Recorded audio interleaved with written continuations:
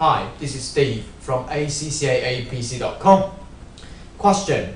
Question 2 from your ACCA Paper P4 exam, June 2013. So let's look at the requirement then. Part A is to have a look at the different types of synergy to try to distinguish them and then apply that to the scenario. It's nine marks for this. So what I'm going to do is to try to say, firstly, what do I mean by synergy? Synergy is 1 plus 1 greater than 2.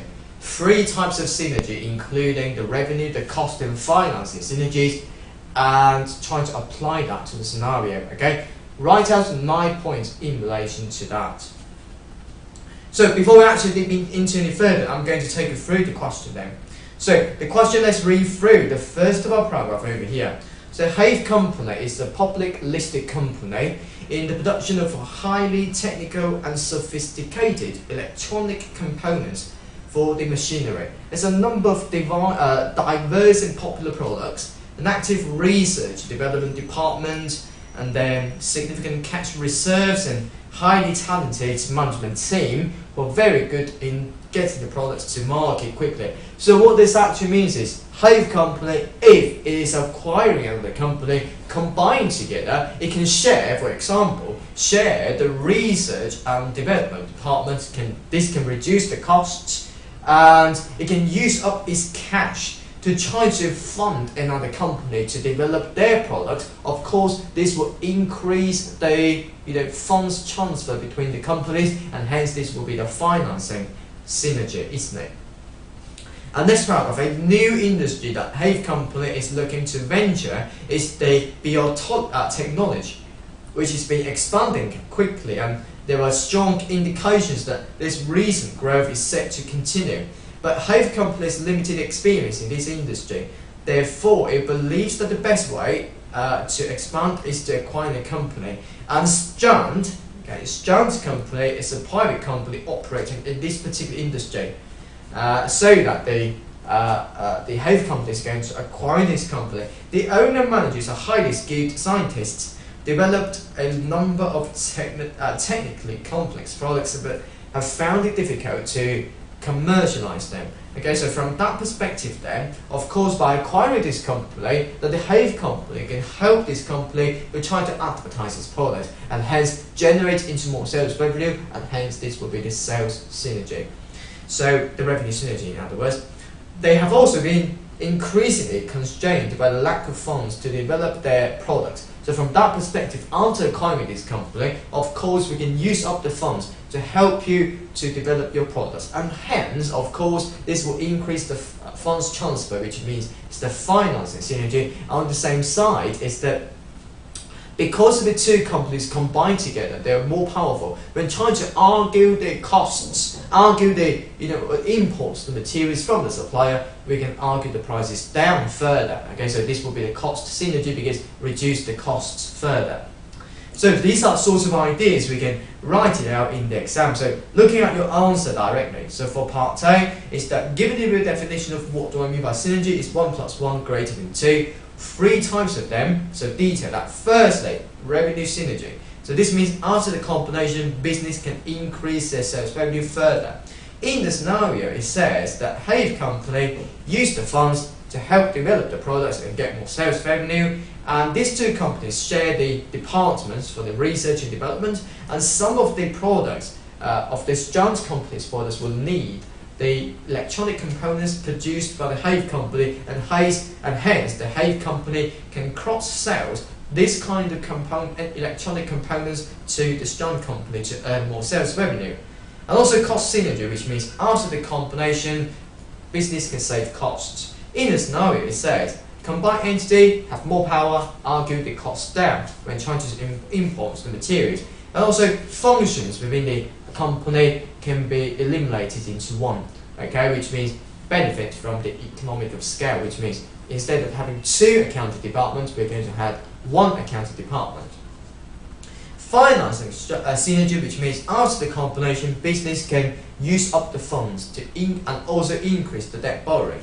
In the scenario, of course, Hays company can use the funds to try to develop their products, and the finance will be cheaper as well. Okay, uh, given they have uh, more power uh, when trying to combine uh, together and also more equity as well, so that we can uh, argue the cost down when trying to borrow some money from the bank, and also we can borrow more money given the better position we, we have after the combination. So those are the points that you can write it out okay, in the exam. So we finish off the part A for this question. And let's have a look at part B then. The based upon the two different opinions expressed by Hav and Stern Company. Calculate the maximum premium, the acquisition premium payable in each case. So from that perspective, so what do I mean by premium is the excess amount of money we're going to pay for you, either from the intangible asset or from the synergy we can create. Okay. So for example, the we, you you are actually worth ten dollars. I'm going to pay for you fifteen dollars. So the excess amount of five dollars here will be because firstly maybe we think that the intangible assets you have is worth five dollars, but it's not reflected in your books. So that's why I'm going to pay for you for the excess of five uh, dollars over here to uh, to pay for you as a premium estimate. And secondly, we may think that, well, maybe after the acquisition, we can get the synergy, for example, increase the sales revenue by a or $5 so that I'm going to pay for you 15 rather than 10. But this $5 here will be the maximum premium because, for example, if you only increase sales revenue after the combination by $5, I'm going to pay for you by $5, which means we can, we can get the benefit of 5, we spend out of 5, which means eliminate to be 0. So from that perspective, this particular $5 here will be just the maximum premium I'm going to pay for you. Okay? So uh, we are going to have a look at this scenario then. So this will be uh, a little bit tricky, as you say. So, next paragraph. If the discussion has been taking place about the possibility of the target company being acquired, the target company's manager has indicated that the owners is happy with the negotiation and if the target company is acquired, it's expected that managers would continue to run the company. So uh, bear in mind, if you continue to run the company, maybe when we are trying to decide whether or not we're going to pay for you by cash or pay for you by convertible bond or pay for you by shares, of course, maybe you will accept the bond and also the shares. For the convertible bond, which means it can be converted back into the foreseeable years as an equity. If you decide to work for the company, of course, you like to hold shares of that particular company because you're expecting that the company's share price will increase at some point in the future. Okay, so bear in mind, so this will be uh, you know, the answer for the part three later on, or part C, I should say target company says that most of its value, so this will be the Stern company. Okay, so bear in mind, Stern company said most value will be the intangible asset. Therefore, the premium payable on the acquisition should be based upon the present value to the affinity of the after-tax excess earnings that the company has generated in the past three years over the average return on capital employed. Okay, so from that perspective, then, of course, the premium we're going to calculate from this giant company's perspective will be using something called the CIV approach. Okay, calculating the intangible value. So, uh, going to start a new page, to part B from this John company's perspective then, so we're going to use the CIV approach to calculate the entire asset value in order to determine that particular premium. So how are we going to do that then? Of course, we're going to firstly calculate the excess return. Excess return from this John company compared to the industry, or maybe other companies as well. Okay, so after we've done that, of course we can calculate that particular percentage. The next step we're going to do is to calculate the intangible asset value before tax. Which means we're going to use that particular percentage multiplied by the capital employed, okay, multiplied by the capital employed. So let me write it here. It's the capital employed. Let me write it here. That particular percentage from the one calculation multiplied by the capital employed.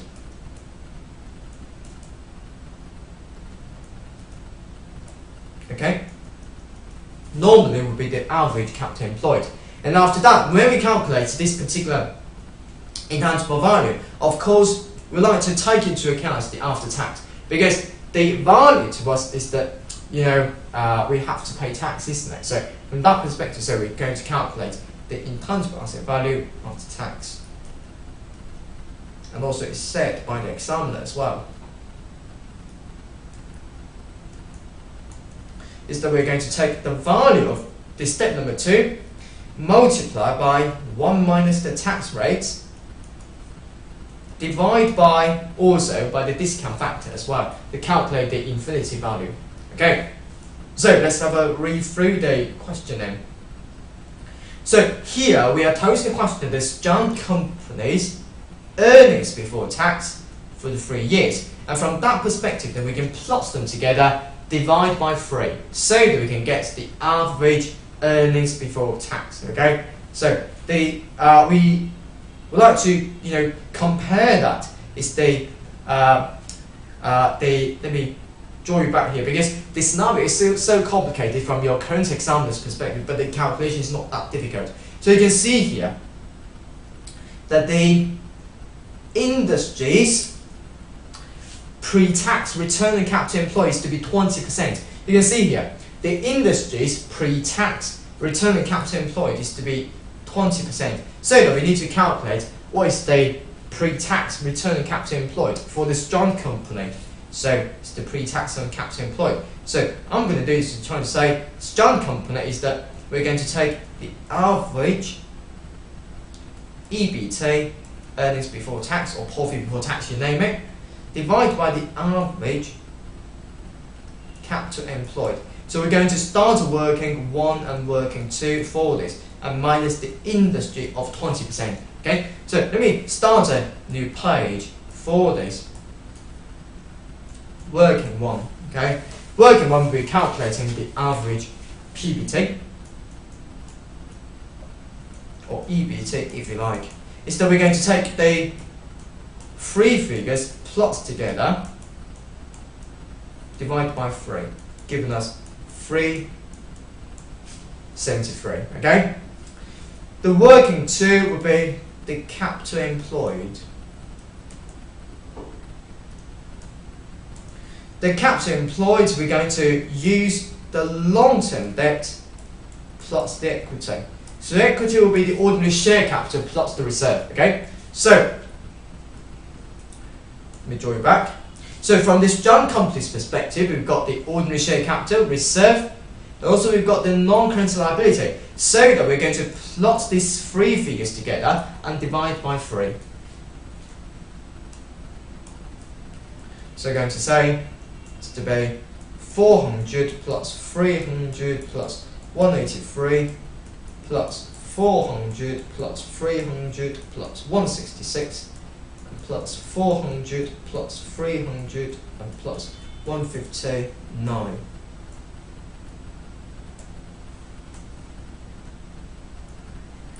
divide by 3, giving us 869. So we're going to slot these two figures into the first of our calculation here.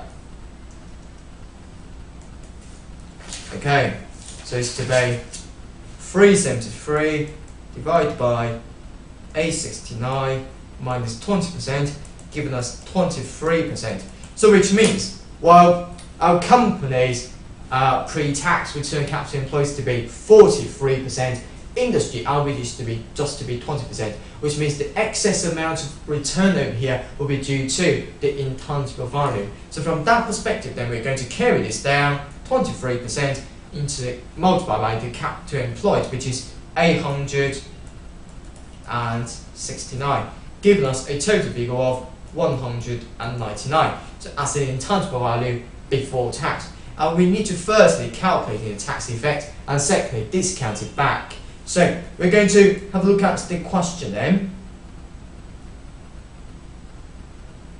Okay, so looking at the question, we are told in the question that the companies will pay tax at 20% and the annual cost of capital is to be 7%. So that we're going to say, firstly, 20% and 7%. this figure will be 199 to spot forward over here. So from that perspective then, when calculating the, uh, you know, the future value for the, this particular intangible asset after tax is to be 2,276 million dollars. Okay, so this is from this John company's perspective as a premium, which means you to pay for me for this amount of excess of money. Okay, for the intangible asset value. So what about from the Hay company's perspective? So we are posing the question that, however, Hav company says the premium should be assessed on the synergy by the acquisition and the changes in value due to the changes in the price to earnings ratio before and after the acquisition. So it seems to me it's, not, it's quite complicated, isn't it? But in fact, it's not. The, the, the computation is so simple. So, but the scenario is a little bit complicated, isn't it? So I'm going to do is to say the Hav company's perspective is that they say that the maximum premium would be the value of the combined entity minus the current value of the Strong company and the current value of the Hav company. So this would be the current value and this would be the new value. Okay? So, and from that perspective then, we're going to start working three and working four for these two values in turn. So working three is about the combined value. Okay, combined value. So, which means when trying to calculate the combined value using the PE ratio, of course we're going to take the profit after tax multiplied by the PE ratio. But here, bear in mind, because you're not just calculating the profit after tax per company, but also you need to account for any of this synergy that is benefited uh, from, from the acquisition. So from that perspective then, we're going to say it's the profit after tax plus the synergy and also multiply by the P ratio, which is the new P ratio after the acquisition. Okay, so to have a look at it. Okay, so going to have a look at that. So, um, let's see, is that we've got the earnings before tax is to be of this company, of this John company in 2013 is to be 397, isn't it? So 397 we need to take into account the tax effect, which means we need to multiply by 80% to give us the net tax value. Okay, and also we've got the Hav company's earnings before tax is to be 1,980, which means we need to multiply by 1 minus the tax rate, giving us the net tax value, okay, after tax value. So from that perspective then, the new combined entity of those is that for the uh, for the uh, for this joint company is to be 397 multiplied by 80%, which means 1 minus 20% of tax rate, plus the H company's 1,980 multiplied by 80%. So this this joint company, this will be the H company. So what about the synergy then? The synergy we are posing the question is that you can see here, ah, the information has been slotted here. The annual after-tax earnings has been increased by $140 million because of the synergy. So from that perspective then, so going to plot the synergy of 140 so that we're going to multiply by the new PE ratio. After the combination, the PE ratio will fall to 14.5. So from that perspective then we can use that 14.5 so that it gives us a total figure of 29,603 okay for the combined value so what about the current value so the current value for these two companies is that firstly to the H company secondly to the S company and to the H company we are posing the question that uh, the share price of the H company will be $9.24 per share and we are also told any of the share capital as well. So it's to be $600 million in total and $0.25 per share and hence we can work out the number of shares in relation to that so that we're going to take the share price multiplied by the number of shares giving us the total share value. So from that perspective, so we're going to say the share price multiplied by the number of shares. So it's to be 9.24 per share multiplied by $600 million divided by $0.25 per share, giving us $22,176 million. And what about for the S company then? So for the S company, we are not told any of these share price of the S company, but rather we're going to use the PE ratio to calculate this. It is simply because we are posing a question that the profit after tax or profit before tax of the S company is to be 397. From that perspective, we're going to take into account the tax effect, which means we're going to multiply by 80% of that, giving us the profit after tax. And then we're going to multiply by the PE ratio, is that for 16.4 and it has been estimated that S company's PE ratio is 10% higher than this, which means we can calculate that net effect. So going to take profit after tax multiplied by the PE ratio. Profit after tax is to be profit before tax 397 multiplied by 80%. And for the PE ratio, for the PE ratio, we are posing the questions to be 16.4 for the industry, and we are 10% higher than this so that it gives us a total value of 5,717 million dollars. So we're going to slot these three figures onto the face of a calculation. So, okay, it's to be 29,603 minus 22,176 plus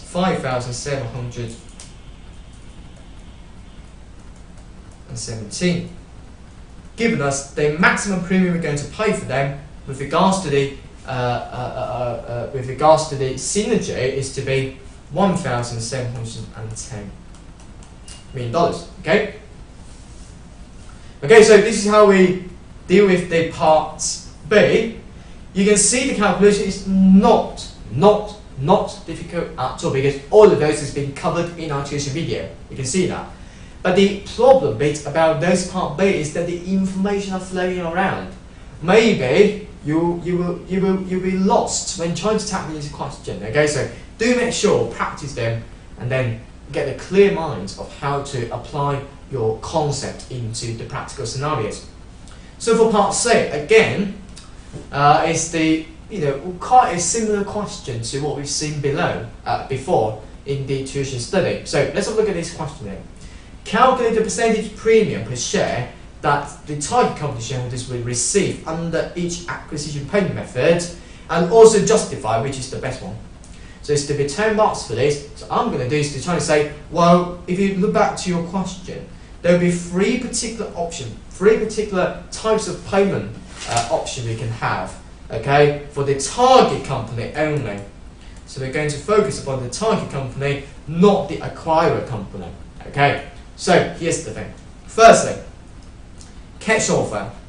So when trying to tackle this kind, kind of question, according to the pro forma in your study note, you can still remember that the uh, payment method either to the acquirer or to the target company. If it is for the target company, for the catch offer, of course we're going to compare uh, that the cash offer with the existing share price we try to see if there's any gains or losses as a result of it. And we're to the question, we offer you $5.72 per share. What about the existing share price? Okay, existing share price of the uh, S company. So the existing share price of the uh, company is that we're going to take that the total value of those uh, you know, of, of the S company, we just calculated in the working number 4. So they're going to take the total value from the working number 4 for the S company divide by the number of shares of the list uh, of the S company. And total value in the notes number uh, in the working number 4 uh, we can see is to be 507 uh, 5717 the number of shares of the S company, we're going to look at today statement of financial position, is to be 300 divided by 0.25 dollars each, so that can gives us 1,200 million shares is to be 300 million divided by 0.25 each. So this divided by that's given us a total figure of 4.76 per share. Which means you worth 4, I'm going to offer you 5. So that, of course, for the existing shareholder, they will have a gain of 0.96 dollars per share. Okay? But here we need to calculate that using percentage, which means in percentage,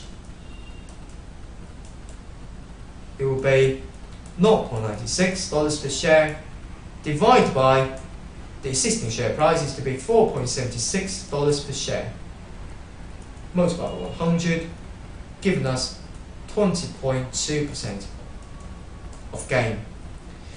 What about for the second posing the question that the second offer is to be cash offer and also the share for share as well. So this will be the complicated uh, parts here.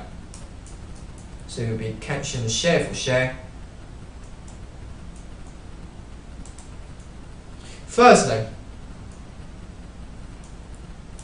cash offer and share for share value compared to the existing share price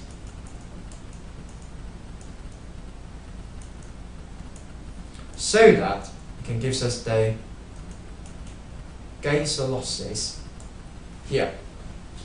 And we are told the question that we offer you a catch price of 133 and we are told the question that for every target company shares, every two target company shares, we're going to offer you a new share. So from that perspective then, for you, you have two, I'm going to offer you one, so that I'm going to use one to split into two, right? So from that perspective, what is my shares to you as the individual share value into your company? Of course, I'm going to say the Hav company share price the Hav Company share price, we are posing the question, is to be $9.24 per share. And for every two you have, I'm going to give you 9, which means for each share split into two, the 9 becomes your shares. As a result of that, each of them will actually become 9.24 divided by 2. Giving us $4.62 per share. Existing share price 4.76, which is the same, giving us $1.19 per share. In percentage terms, is that 1.19 divided by 4.76 giving us 25%. Okay, so what about the third one? We're told the question that this will be the cash and also convertible bond.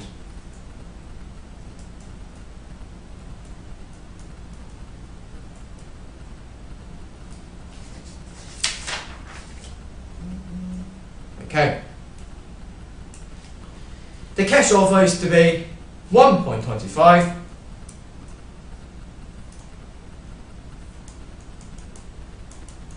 But what the bond value per share? Compare that to the existing share price of $4.76 per share, giving us the gains and losses.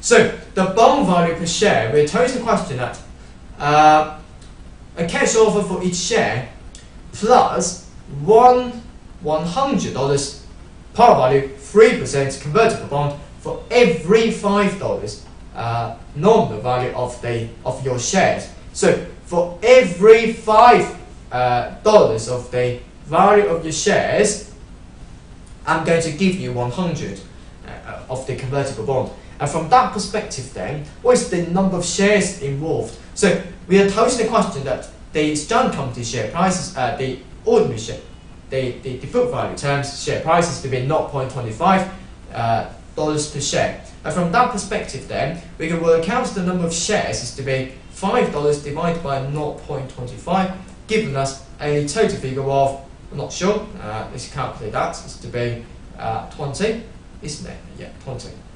So 20 shares. Okay, uh, which means for every 5 shares, it will be uh, $5 worth shares, it will actually worth the number of shares is to be 20. And I'm going to give you 100 which means this will be the total value for the convertible bond of 100 divided by the number of shares equivalent to the $5 so that it can give us the bond value per share. Okay, so this is about your, uh, your mathematics bit.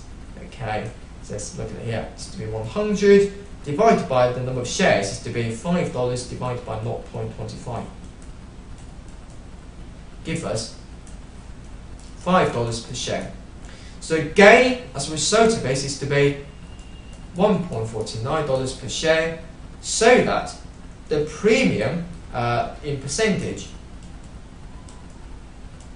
is that we're going to take 1.94 divided by 4.76 giving us 31.3%. So we can see here from the first option is to be 20.2, second one 25, and third one is to be 31.3, which means maybe the target company will accept the third option rather than the first two. But let's have a look at the common part here, directly looking at your uh, answer then. Firstly, the third option offers the highest return, but uh, it will be, you know, it's a convertible bond, which means at some point in the future it will be converted into into shares. And hence that the share value at that particular point is to be, for example, take into account today's share price is to be 9.24 multiplied by, we are posing a question that it will be converted into 12 shares or redeem at par. So if I'm going to convert that into this whole share, 12 shares, which means it's 110 uh, worth of money, take into account today's share price. And uh, if I'm going to redeem that, if I'm going to pay for you uh, 100, uh, which one will you choose? Of course, maybe some of you would choose 100, maybe some of you would choose 110. It depends. Maybe you have lots of cash within your company, of course you can redeem that by cash. But maybe you haven't got enough cash within your company, otherwise you are going to say that allow them to convert into shares. We, we are not going to do anything about it. So it will depend.